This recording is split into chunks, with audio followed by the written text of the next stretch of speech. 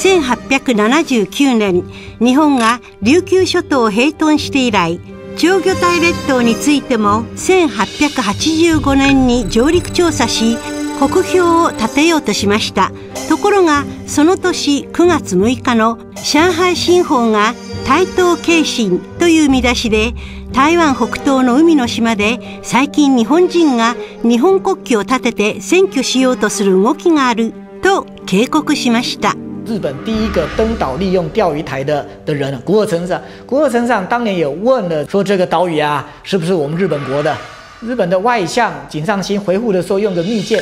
他当时的回复是说不要动这个东西，为什么？因为他讲这个动这东西啊，恐招致啊日本跟清国之间的这样的一个外交问题啊。井上新的回复啊，就可以证明了我们所主张的，就是钓鱼台这地方，日本人也知道这不是一个无主地啊，哦，它是个无人岛哦，但是它绝对在历史上，它本来就是这个台湾的一部分。当時の外務省は1885年10月内務省に機密文書新典38号で国標の設置について他日の機会に譲る官報や新聞に掲載する必要はないと建議しました1892年当時の沖縄県知事から海軍大臣に送った手紙には長魚体列島は調査未採の当初であるため海軍の海門艦を長魚体列島に派遣して実地調査を行うことを要求しましたが海軍は季節険悪のためを理由に派遣しませんでした。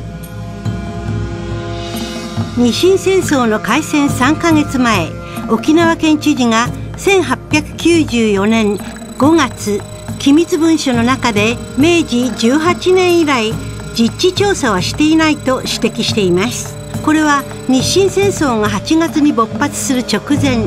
明治政府の最後の長魚体列島に関する文書です。これは1885年から1895年まで明治政府が長魚体列島を再三にわたり調査したという事実がなかったことを証明するものです。